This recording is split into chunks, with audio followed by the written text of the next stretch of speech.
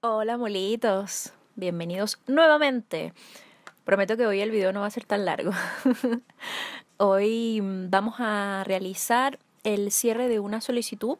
Hasta hace muy poco esto no era posible, pero mm, esta semana habilitaron la opción para poder hacer nosotros mismos el cierre de solicitud.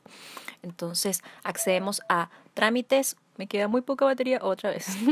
accedemos a trámites.minrel.gov.cl nos va a desplegar este menú.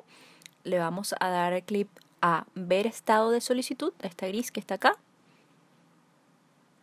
Este módulo uno lo puede usar para consultar el estatus de su solicitud una vez fue terminada.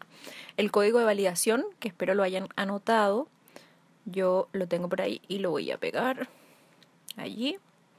El tipo de identificador, pasaporte y el pasaporte que yo puse esa solicitud fue este. Seleccionamos yo no soy un robot. Yo tampoco soy un robot. y esperamos que cargue, está un poquito lenta la página.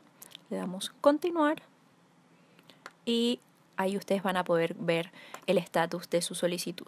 En este caso, la fecha en la cual yo terminé de hacer esa solicitud, el número de pasaporte, que uno inventado por supuesto, eh, los nombres, los apellidos, el tipo de solicitud que fue visa y va a estar en espera. Cuando esto transcurre, en el historial de registro aparece validar antecedentes, pagar, imprimir visa, espero retiro por ciudadano, son como los diferentes estatus. Pero como ahora está en espera, dice eso y el historial no tiene registros. Este es el botón que fue agregado recientemente y que sirve para cerrar la solicitud. Le vamos a dar clic allí. Nos va a preguntar, ¿está seguro de que desea eliminar la solicitud? Le damos aceptar. Y nos va a aparecer eliminado exitoso. Cerramos el trámite. Le damos OK. Y listo.